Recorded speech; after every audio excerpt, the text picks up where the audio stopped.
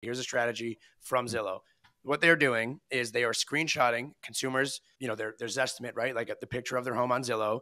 They're screenshotting it with the Zestimate that is always wrong. Shout out to Zillow. I love you guys, but always wrong. And right away, they're sending the screenshot along with a text saying something like, hey, so and so, if I offered you more than 15% above what your estimate would be, would you sell? Or, hey, we saw that this is your estimate, but in reality, Zillow has it wrong. Here's the proper number. Would you like more information on what the real value really is? Because everybody wants to know baby boomer or silent generation, right? So 90 years old to 20 years old, or vice versa. Everyone wants to know how much equity they're sitting on. That's majority of their money. Uh, another example here from Jimmy Mackin, and this has been absolutely crushing subject line of this email, again, screenshot to email now, is name your price.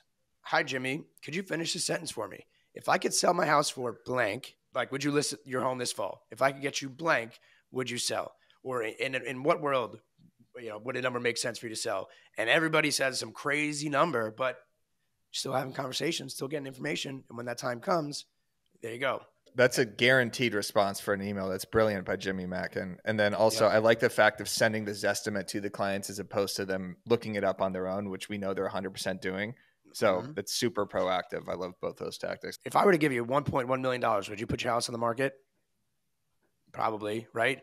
38% of Americans right now are living with no mortgage. 38%, no mortgage. That means that they could probably downsize. They could probably go down south. They could probably, go, well, for me, go down south, right? They could probably move. 38%. The amount of people that are in the silent generation, right? The 70s, 75, 80 years old, they maybe want to go down to a condo.